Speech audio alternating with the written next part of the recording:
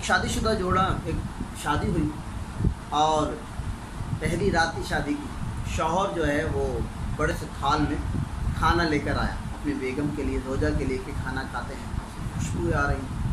لیکن اس کی زوجہ نے کہا کہ نہیں، آپ پہلے اپنی امی کو بلا کے نہیں۔ اس نے کہا، امی سو گئی ہوں۔ اس نے کہا کہ آپ کی امی نے کھانا نہیں کھایا ہے، امی کو لے آئیے، کھانا مل کر کھاتے ہیں۔ لیکن اس شخص نے یہی کہا کہ نہیں، چھوڑیے۔ امی سو گئی ہوں گی۔ امی کو رہنے دیجیے وہ اصرار کرتی رہی، نہیں، آپ اپنی امی کو بلائیں۔ لیکن اس شوہر نے کہا، آپ اس بات کو چھوڑیں، مل کے کھانا کھا لیتے بات بہت بڑی، تو اس کی زوجہ نے اس سے طلاق کا مطالبہ کر دیا۔ شوہر نے کہا، اتنی چھوٹی سی بات پر آپ نے طلاق کا مطالبہ کر دیا کہ ہاں مجھے طلاق چاہیے۔ اور دونوں کو طلاق ہو گئی۔ دونوں الگ ہو گئے۔ پھر دونوں نے دوسری شادی کر لی۔ اور تیس بتیس سال گزر جانے کے بعد تیس بتیس سال گزر گئے اور وہ بھی ایک عمر اس کی زیادہ ہو گئی اس نے ارادہ کیا کہ مجھے حج کرنا چاہیے۔ اس عورت نے ارادہ کیا کہ مجھے حج کرنا چاہیے۔ حج کے لیے روانہ ہو گئی۔ سفر کے دوران اس کے بیٹے اس کی ایسی خدمت کر رہے جیسے کسی ملکہ کو لے کے جا رہے ہیں۔ اس کو پاؤں زمین پہ نہیں رکھنے دیتے۔ اتنا اپنی ماں کا خیال کرتے۔ سرائی سفر تھا۔ راستے میں ایک آدمی پہ نظر پڑی جس کی بہت کم کرسی کا عالم ہے اور کپڑے بھی بہت گندے ہیں سب بھی بہت گندا ہے۔ تو ماں نے اس عورت نے اپنے بچے کو کہا کہ اس شخص کو دیکھو جا کے، یہ شخص کون ہے؟ اور اس کو جا کے پانی پلاؤ، کھانا کھلاؤ۔ جب اس کو پانی پلایا گیا، کھانا کھلایا گیا، جب عورت کی اس پر نظر پڑی تو وہ جان گئی کہ وہ اس کا پہلا شوہر تھا۔ کہنے لگی، یہ کیا ہو گیا؟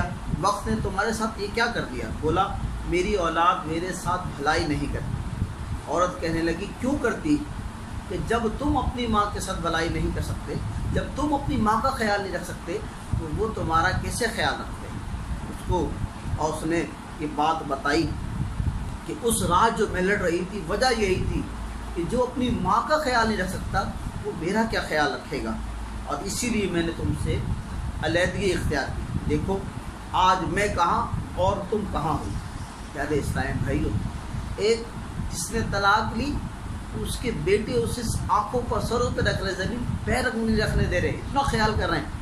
اور وہ وقت کا بہترین فیصلہ، وقت کا بہترین فیصلہ بظاہر پہلی رات تھی، لیکن اللہ اکبر، وہ بھی کوئی اللہ والی تھی اس نے کہا کہ اپنی ماں سے کھانے کا پوچھو۔ اس نے ماں سے کھانے کا نہیں پوچھا، جبکہ ماں بھوکی تھی۔ پھر اس نے اسی وجہ پہ طلاق لی اور اینڈ کیا ہوا، آخری وقت کیا ہوا؟ یہ ہوا کہ وہ جو عورت تھی، وہ خوش و خرم تھی، اس کے بچے خیال رکھتے تھے۔ اور وہ جو مرد تھا جسے طلاق لی تھی، اس کے بچے اس کا خیال نہیں رکھتے تھے۔ کیوں؟ کہ اس نے اپنی ماں کا خیال نہیں رکھا۔ مجھے اسلام بھائیو، ماں باپ کے ساتھ برا سلوک نہ کریں۔ اللہ کی ماں باپ کے ساتھ برا سلوک بالکل نہ کیے جائے، کیونکہ ماں باپ کے ساتھ نافرمانی اللہ وجل سے نافرمانی ہے۔ اگر آپ اپنا بڑھاپا اچھا کرنا چاہتے ہیں، شاندار بڑھاپا کرنا چاہتے ہیں کہ میری اولاد میرا خیال کرے، تو آپ کو چاہیے کہ آج اپنی ماں کا خیال کریں۔ آج اپنی ماں کی قدم چومیں۔ آج اپنی ماں کی بات کہنے سے پہلے بات پوری کرنے کی کوشش کریں، اس ماں کی خدمت کریں۔ رات کو اگر تھوڑا سا موقع مل جائے تو ماں کے قدم مبارک دبا دیں۔ رات کو اگر تھوڑا سا موقع مل جائے تو ماں کے قدموں کو بوسہ دے لیں۔ جس نے ماں کے قدموں کو بوسہ دیا، اس نے جنت کی چوکھٹ کو بوسہ دیا۔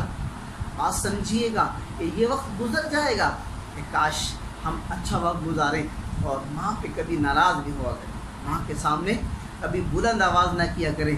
اگر ہم دھیمی آواز رکھتے ہوئے، نظر نیچی رکھتے ہوئے ماں سے کلام کریں گے تو انشاءاللہ ہماری دنیا بھی روشن ہوگی اور آخرت بھی روشن ہوگی۔ اس واقعے سے ہمیں جو درس ملا وہ یہی ملا کہ خوشی ہو یا غم، شادی ہو یا نہ شادی ہو، جو بھی معاملہ ہو، جو بھی وقت ہو، ماں باپ کو کبھی نہ بھولیں۔ ماں باپ کی قدر کریں، انشاءاللہ آپ کی قدر ہوگی۔ جس نے آج قدر کی، اس کی دنیا بھی روشن، اس کی آخرت بھی روشن۔ اللہ تبارک و تعالی ہمیں والدین کا فرم بردار بنائیں صلو علی الحبیب صلی اللہ تعالی علی محمد